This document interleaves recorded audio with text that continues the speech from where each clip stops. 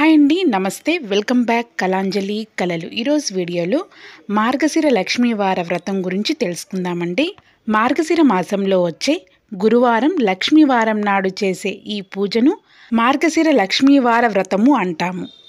సంవత్సరానికి ఒకసారి వచ్చే మార్గశిర మాసం నాడు ఈ పూజను ఆచరించడము సర్వశ్రేష్టము. ఈ వ్రతము లక్ష్మీదేవికి చాలా ప్రీతికరమైనది అని పరాశ మహర్షి నారదుడికి తెలిపారు. మార్గశిర నెలలో లక్ష్మీ పూజ చేసుకొని ఈ వ్రతమును ఆచరించటం వలన రుణ సమస్యలు తొలగి శ్రేయస్సు సంపద మరియు ఆరోగ్యం కలుగునని విశ్వాసం. మార్గశిర లక్ష్మీవార వ్రత కథ. పూర్వము కళింగ దేశమందు ఒక బ్రాహ్మణుడు కలడు. అతనికి సుశీల అను ఒక కూతురు కలదు. ఆమెకు చిన్నతనమున తల్లి చనిపోయినందున సవితి తల్లి పిల్లను ఎత్తుకోమని చెప్పుచు కొంచెం బెల్లం ఇచ్చేది. ఆ సుశీల సవితి తల్లి పిల్లలను ఆడించుచు ఇంటి వద్ద సవితి తల్లి మార్గశిర లక్ష్మీ పూజ చేయుట చూసి ఆమె కూడా మట్టితో మహాలక్ష్మిని చేసి జిల్లేడు పూలతోనూ ఆకులతోనూ పూజ చేసి ఆడుకోమని ఇచ్చిన బెల్లంను నైవేద్యంగా పెట్టుచు ఆడుకునేది సుశీల. ఇలా కొన్నాళ్ళకు సుశీలకు వివాహం అయ్యింది. అత్తారింటికి పోవచ్చు. తాను తయారు చేసుకున్న లక్ష్మీదేవి మట్టి బొమ్మను తీసుకువెళ్ళింది ఇలా వెళ్ళిన వెంటనే కన్నవారు నిరుపేదలైనారు. అత్తగారింట మహదైశ్వర్యం అనుభవిస్తున్నారు.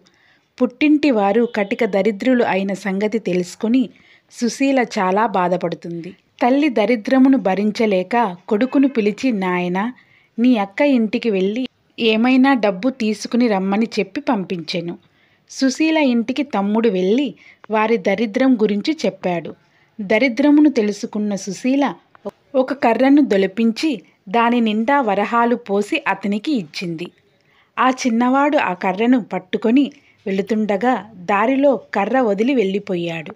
ఆ కర్ర ఎవరో తీసుకుని వెళ్ళిపోయారు. ఇంటికి వచ్చిన కొడుకుని తల్లి ఏమి తెచ్చావు? అని అడుగగా ఏమీ తేలేదు అని చెప్పెను. మన దరిద్రం ఇంతే అని అనుకున్నారు. కొంతకాలం తర్వాత సుశీల తమ్ముని పరిస్థితిని అడిగి తెలుసుకున్నది.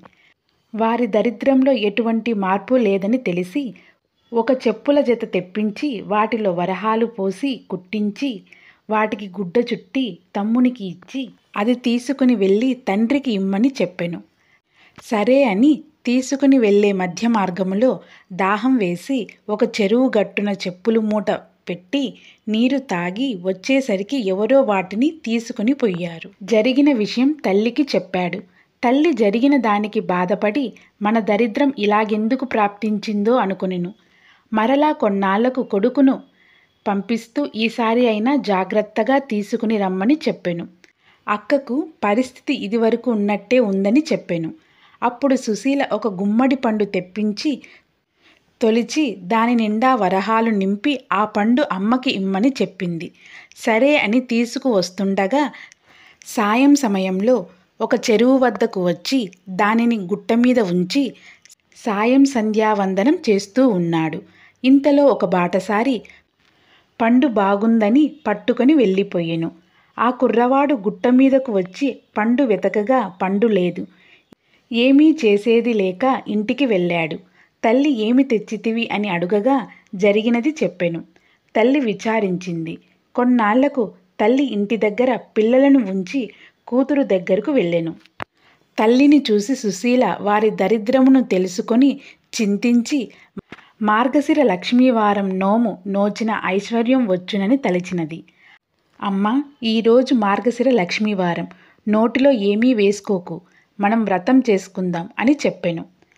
ఆమె కూడా అలాగే నేనేమైనా చిన్నదానినా? ఎందుకు తింటాను? అని చెప్పి పిల్లలకు చల్ది అన్నం పెట్టి నోటిలో ఒక ముద్ద వేసుకున్నది. కూతురు వచ్చి అమ్మ స్నానం చేయి మనం వ్రతం చేసుకుందాం అంది. అప్పుడు జరిగినదంతా తల్లి చెప్పినది. ఆ వారం కూతురు మాత్రమే చేసుకున్నది వ్రతాన్ని. రెండవ వారం వ్రతం చేసుకుందాం అనుకున్నది. అప్పుడు పిల్లలకు తలకి నూనె రాస్తూ ఆమె కూడా తలకు నూనె రాసుకున్నది. ఆ వారం కూడా వ్రతం చేయ వీలు కాలేదు. మరుసటి వారం అమ్మ ఈసారైనా జాగ్రత్తగా ఉండమని చెప్పినది. పిల్లలకు తల దువ్వుతూ ఆమె తల దువ్వుకొని వ్రతం చేయలేకపోయినది. కూతురు మాత్రమే చేసుకున్నది. నాలుగవ వారం. ఈసారి అయినా చాలా జాగ్రత్తగా ఉండమని చెప్పి సుశీల తల్లి ఈ పని చెయ్యకుండా ఉండటానికి ఒక గోతిలో కూర్చోబెట్టినది. పని అయిన తర్వాత అమ్మను తెచ్చుకొని వచ్చి స్నానం చేస్తే పూజ చేసుకుందామని పిలవగా తల్లి పిల్లలు అరటిపండు తిని నేను కూర్చున్న చోట అరటితోలు వేశారు. ఏమీ తోచక అది తిన్నా అని చెప్పింది. అయ్యో అని తలచి కూతురు పూజ చేసుకొని ఐదవ వారం మార్గశిర లక్ష్మీవారం వ్రతం ఆఖరి వారం. అప్పుడు సుశీల తల్లిని తన కొంగుకు కట్టుకొని పని పూర్తి చేసుకొని తలచే స్నానం చేయించి వ్రతం చేయించింది. పూర్ణ కుడుములు తల్లిచే నైవేద్యం పెట్టించింది. కానీ మహాలక్ష్మి దూరంగా వెళ్ళిపోయింది. ఏమి అమ్మ అలా వెళ్ళిపోతున్నావు అని అడగగా నీ చిన్నతనంలో నీవు బొమ్మలతో ఆడుకుంటుంటే మీ అమ్మ చీపురుతో కొట్టింది. అందుకే అని చెప్పింది. అప్పుడు తన తల్లి చేసిన దానికి క్షమించమని ప్రార్థించింది. మళ్ళీ నీ తల్లిచే వ్రతం చేయించమని అదృశ్యమయ్యింది మహాలక్ష్మీదేవి.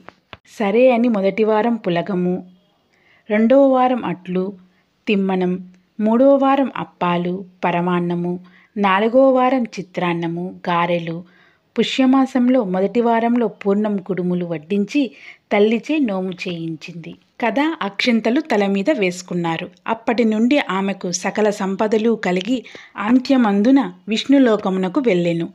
కథలోపమైనను వ్రతలోపము కారాదు. భక్తి తప్పినను ఫలము తప్పదు. ఇదండి మార్గశిర లక్ష్మీవారం వ్రత కథ. ఈ రెండు వేల ఇరవై రెండవ సంవత్సరంలో మనకు ఈ మార్గశిర మాసంలో ఐదు గురువారాలు వచ్చాయి కాబట్టి ఈ ఐదు గురువారాలు లక్ష్మీ పూజను చేసుకుంటే మార్గశిర మాసంలో సరిపోతుందండి.